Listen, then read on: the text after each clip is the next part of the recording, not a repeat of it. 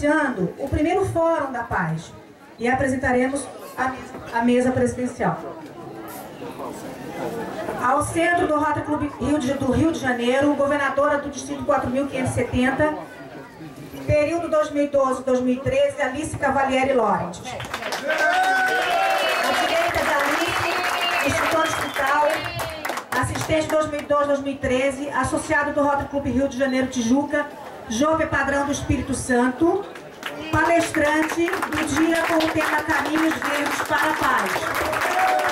À esquerda de Alice, governador do Distrito 4.540, no período 1991-1992, é, associado representativo do Rotary Clube Rio de Janeiro Tijuca. Bem-vindo, Augusto Dias. À direita de Joca, governador do Distrito 4.570, no período 2005-2006, associado representativo do Rotary Clube Rio de Janeiro, Sebastião Porto. À esquerda de Bem-vindo, governador eleito 2013-2014, Fernando Faria, do Rotary Clube Rio de Janeiro e Ipanema.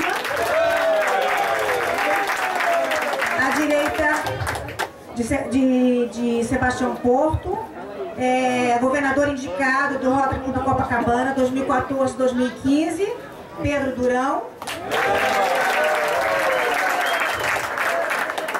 À esquerda de Fernando, presidente do Rotary Clube Rio de Janeiro, neste período, José Schmidt da Murta Ribeiro.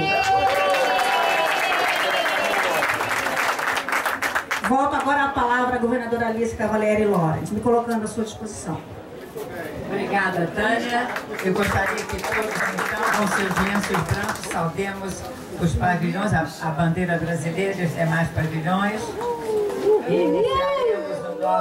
Minha gente, e o Rio de Janeiro está aos nossos pés. Rotary, no Morro da Urca, depois no Pão de Açúcar, e nós de cima olhando a nossa cidade, o nosso espaço, os municípios do estado do Rio de Janeiro, aos pés de Rotary. Então nós aumentamos a nossa responsabilidade, porque hoje iniciaremos os primeiros passos formais dos nossos fóruns da paz.